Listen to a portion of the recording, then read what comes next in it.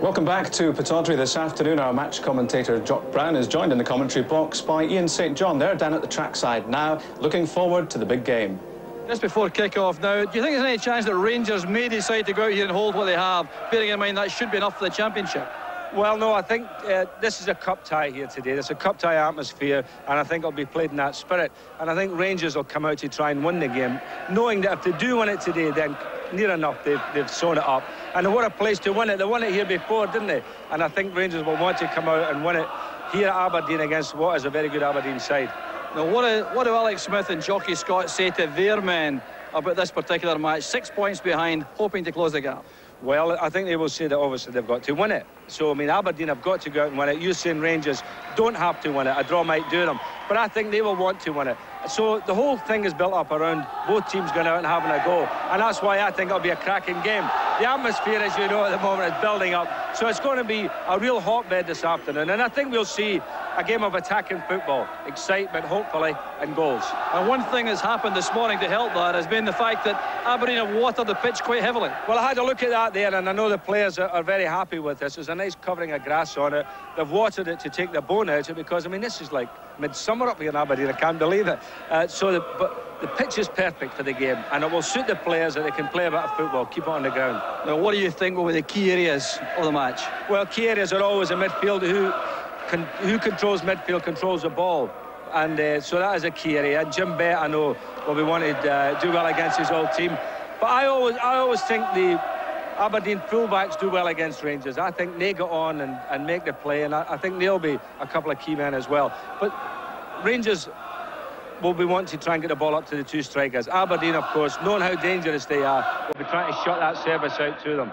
And of course, there are incentives for a number of these players, perhaps the fringe men for the World Cup like Stuart McKimmie and Hans Gillhaus for the Holland. Sure, I mean, uh, Gillhaus I haven't seen live. I'm looking forward to seeing him. I gather uh, he's a terrific player. We've only like seen the goals, you know, the goals we get sent down to us. He looks a very good player, so uh, I'm looking forward to seeing him this afternoon. And do you think the effect of winning that Skol Cup final will be a good one for Aberdeen? Well, that's given them a great boost of confidence, you know, to have beaten Rangers in the big one, in this kind of hotbed atmosphere at Hampden Park. Why not do it again today? So I think they'll be very confident, Aberdeen. Let's see what happens, Ian. Thanks very much. Looking forward to it. Thanks to Jock and thanks to Ian. Let's remind ourselves now of what these two teams have got to offer. Aberdeen already have the Skol Cup locked away in the trophy cabinet. They're in the Scottish Cup semi-finals. That's next week. Injuries have hampered their league campaign, and really only the die-hard Dons fans would give Aberdeen a chance of catching Rangers in the championship race. Let's see Aberdeen in action.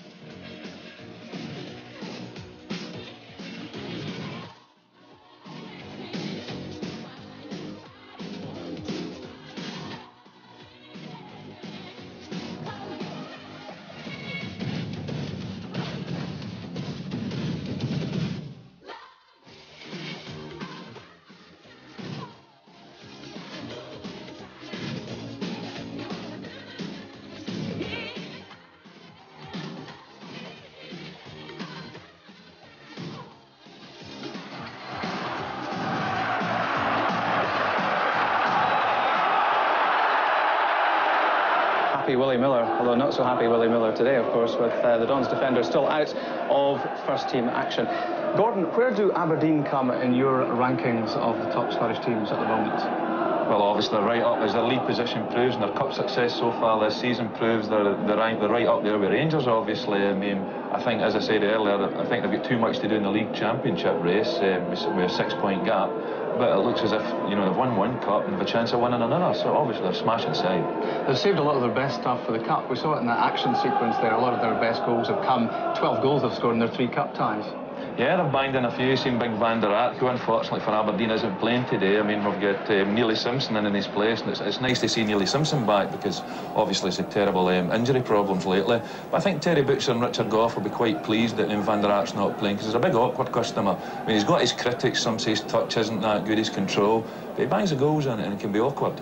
It underlines Aberdeen's strength and depth, doesn't it, that Van der Ark's out, and in comes Neil Simpson, a Scottish international. They've also got Ian Cameron on the bench this afternoon, who can come on and do a good job. We all remember that great Skol Cup semi-final goal we got against Celtic. Well, that's one of the most important things in football today. You've got to have strength and depth, and also taking into consideration that Snelders is out and Willie Miller's out, and to, to be winning championships or cups nowadays, you've got to have the strength and depth, and if you haven't got that, at some time in the season you're going to get suspensions, you're going to get injuries, and if you haven't players like Neil Simpson to come into your squads, you don't win things.